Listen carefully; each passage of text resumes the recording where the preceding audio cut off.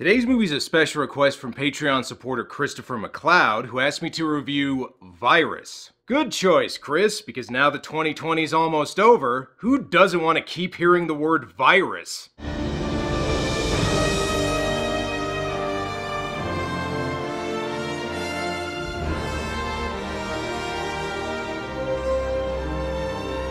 Virus is a 1999 sci-fi horror movie based off a Dark Horse comic book series of the same name written by Chuck Pfarrer, a screenwriter known for movies like Darkman, Hard Target, and Red Planet. It was also the feature-length directorial debut of John Bruno, a special effects expert who's worked on everything from The Abyss, Terminator 2, Batman Returns, Titanic, Avatar, and many others. Now, I've done a few movies directed by effects guys on this show before, but this one's a little different. While most movies directed by effects artists are independent or direct-to-video productions, Virus was actually put out by a major studio and got a wide theatrical release. Then again, it didn't exactly get a prime-time spot since Virus was originally supposed to open in the summer of 1998, but got delayed several months, finally getting released in January the following year, which is traditionally a dumping ground for movies studios don't have much faith in. And they may have been onto something since Virus wasn't exactly a hit with either critics or audiences, but hey, when has that ever stopped me before? So let's check out Virus. Well, Dark Horse made some of the best comic books based on movies ever, so maybe a movie based on one of their comics will be good. Hmm, the 80s Apple II font is how you know shit's about to get serious. Пока мы с тобой говорили, Надюша. Uh-oh, looks like I put in a Russian knockoff of Apollo 13 by mistake. Also, I'm not sure if this is a Russian thing, but this lady seems to be really turned on by guys playing chess. This is a Russian satellite vessel, uh, oh, sorry, Wessel, communicating with Space Station Mir. However, they're soon interrupted by some leftover effects from the movie Supernova, which is another expensive bomb I need to get to one of these days.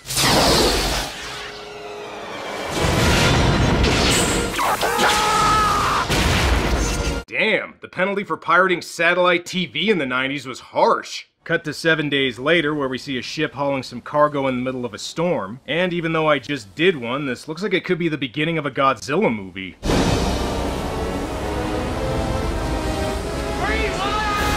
Wait, is this a Godzilla movie? Wait a second, this boat can't sink. It's got the most recognizable actors in the movie on board. And, you know, also a random Baldwin brother, I guess. Captain! Captain, once we're in the eye, we'll have calm seas for two hours. Donald Sutherland has the same look on his face I did after I finished watching Things. Even if they manage to keep the ship from sinking, I think they're gonna lose their cargo. I'm cutting it loose. Stay away from that door, mister.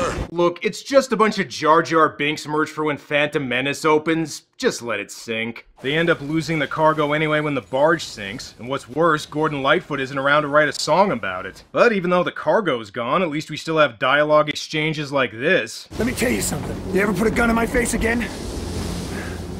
You'll what?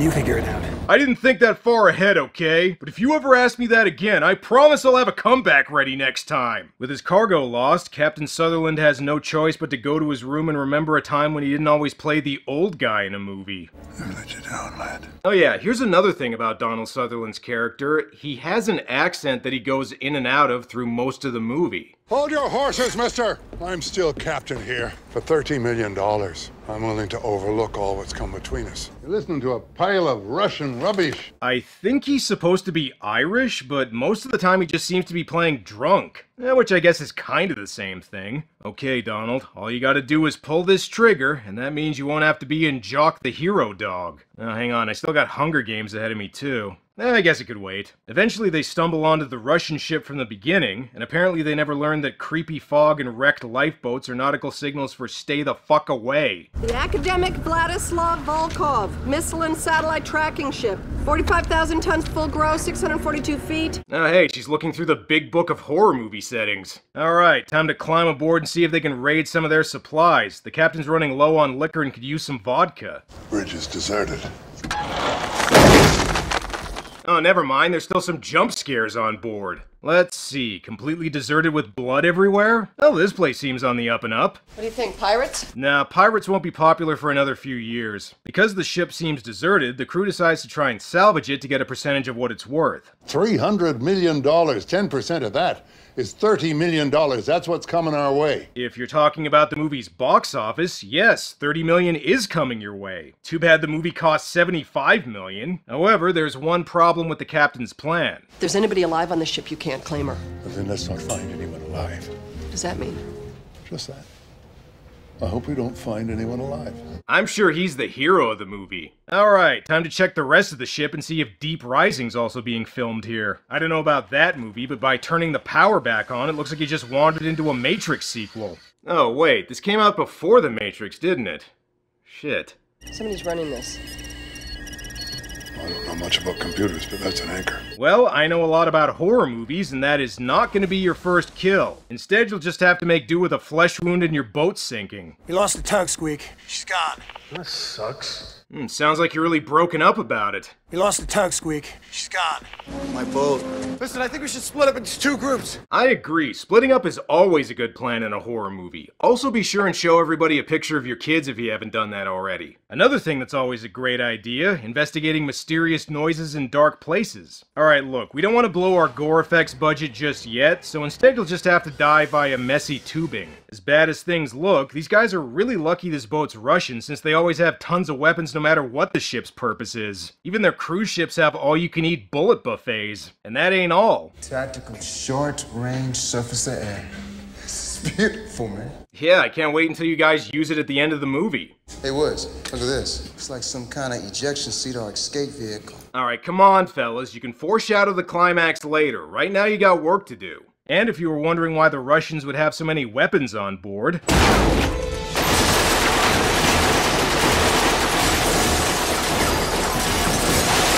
it's so they could use them for more jump scares, that's why. I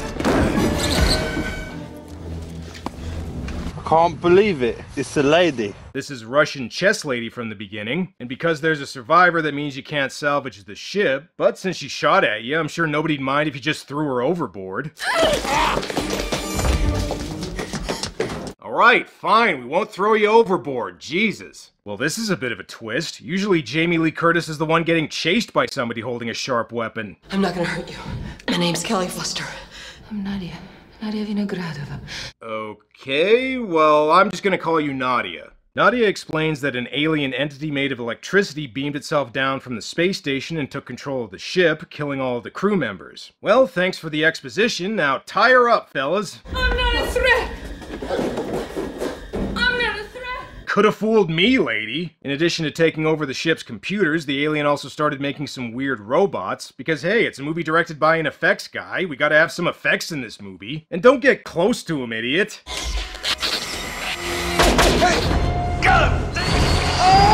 Well, that was your own damn fault. There you go, just randomly shoot shit. That is a way smarter idea than poking some of Ed Gein's Erector set creations. Steve, this is Richie.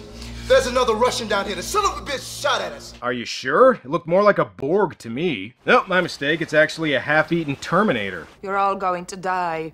Hear that, Foster? We're all going to die because there are aliens on this ship. Uh, aliens, Terminators. I mean, John Bruno did work on a lot of James Cameron movies, so it kind of makes sense. One of my men is missing, and I want some answers. You think that just cause your accent's more convincing than mine that makes you better than me? Is that it? Hmm?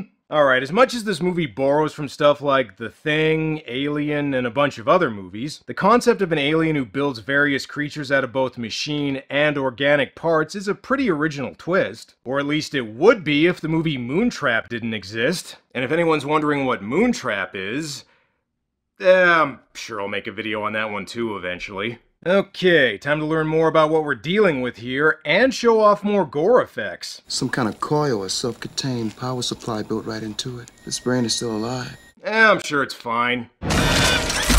Oops, never mind. There's still some jump scares left in this thing. There's no alien. Something their government cooked up. It's run amok, and you're afraid the rest of the world's gonna find out about it. Dr. Igor fucking Frankenstein there. Igor was the assistant, not the doctor. The captain thinks this is a result of a Russian medical experiment, and even if it was, I'd still probably want to get the fuck out of there, but whatever. I got even more bad news, you're headed straight for the perfect storm. Well, at least that movie made money. Listen, the control room's a little too well lit, you guys should move someplace more dingy. Look, somebody even wrote red rum in Russian on the wall. Okay, let's see, I already made a Borg reference, so how about Lord Dread? Anybody get that reference? Squeak? Steve. Hey, I've been assimilated. Resistance is futile. You know the drill. Oh no, not that guy. You just killed Coach Snyder from Elm Street 2. When he said he wanted to die while getting fisted, this is not what he meant. Eventually they try talking to the alien, because so far it seems like it'd be reasonable, doesn't it? Who are you? Is that it? Is it? Is it the thing? No, but you are gonna get compared to the thing a lot. And if you thought the title was referring to the alien, get ready for a twist. What species? Man. You are virus. Hmm, yes. Perhaps it is man who is the real electrical cyborg demon. They now plan to go to the ship's main computer to try and kill the alien, cause yeah, that seems like a way better idea than talking to it. And this movie managed to avoid the cliche of the black dude dying first, so instead we'll do the one where he flips out and runs away. What is that? Who's gonna die my ship? It's gone postal, man.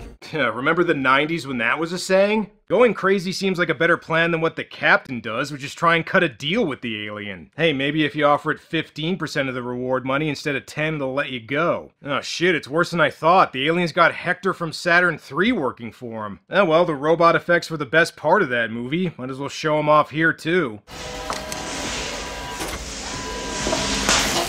Good God, this place is like if Sid from Toy Story was played by David Cronenberg. Alright, here's one thing I will say about this movie. Most films directed by effects guys are low budget ones that usually don't show off what they can really do. But because this was put out by a major studio and had a big budget, we actually get some decent robot effects here. It's pretty amazing. What with no head and all. You know, even if the captain doesn't believe this is an alien, this is still some pretty freaky shit. And look, man, I know you want to survive the movie, but you made it more than an hour. That's pretty good. Actually, now that I think about it, we're pretty far in, and so far only two crew members have been killed. That's a pretty low body count for a horror movie.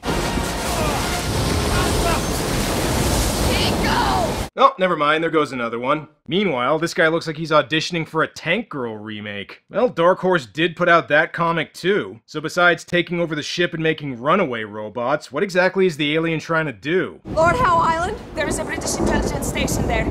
They have digital link-ups to all the military and commercial satellites in the southern hemisphere. Every military satellite in the southern hemisphere? Oh shit, if this thing gets a hold of Uruguay's nuclear arsenal, the world is doomed. And there's even more bad news. Jesus Christ. Oh shit, Cyborg Sutherland. You don't recognize me. The alien said if I joined him, he'd fix my accent. Doesn't it sound more authentic now? I'm totes Irish. Faith and Begora, boyo. Alright, will somebody please put Donald out of his misery? Okay, he's dead. That means Donald Sutherland can finally collect his paycheck and go home. Well, now you know blowing them up works, so time to do that to the entire ship. And there's about 15 minutes left, so make sure that's what you set the timers to. And I just want to say, I'm really glad that so far this movie has relied mainly on practical effects instead of overusing a bunch of CGI like a lot of movies from this time. Okay, it's a late 90s movie, so I guess we were gonna get this eventually. Alright, to be fair, they did also make a full-size animatronic of this monster that weighed about 2 tons. And even when the movie does use CGI, it's far from the worst I've ever seen. You know, the more I watch this movie, the more it seems like hardware if it was directed by Michael Bay. And now that I say that, I wouldn't mind seeing Richard Stanley make a Transformers movie. Also, since I've been comparing this to a ton of earlier movies, in the interest of fairness, I am gonna say it's interesting how similar the robots in this are to the ones from The Matrix, which came out after. Jesus, can anything stop this thing?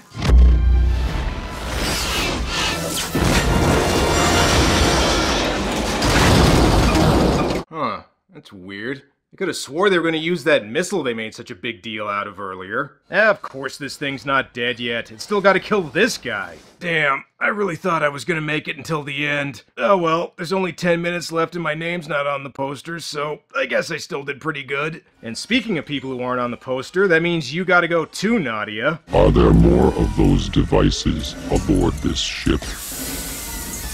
Just one more. Okay, so now is that thing dead? Nope, guess not. Okay, it's pretty obvious you're gonna use that missile and ejector seat thingy you foreshadowed earlier, so let's get to it. Also, while the effects have generally been pretty good so far, this is one part where they really start to take a nosedive. Oh shit. Alright, you blew up the ship and stopped the alien. Maybe. If it's made of electricity, I'm not really sure how you kill this thing. So now the question is, is this movie gonna do a real final jump scare or a fake out final jump scare?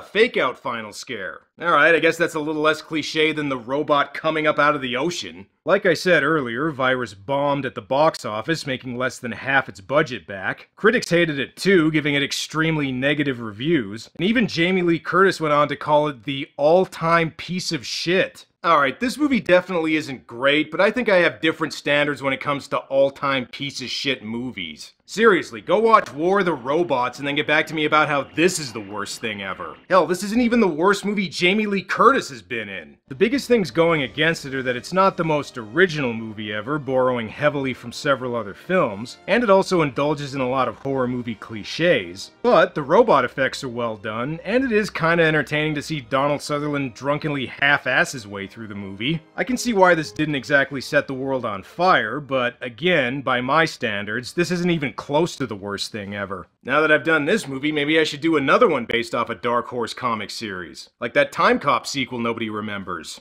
By the way, yes, there was a sequel to Time Cop. Well, that's all for now. Until next time.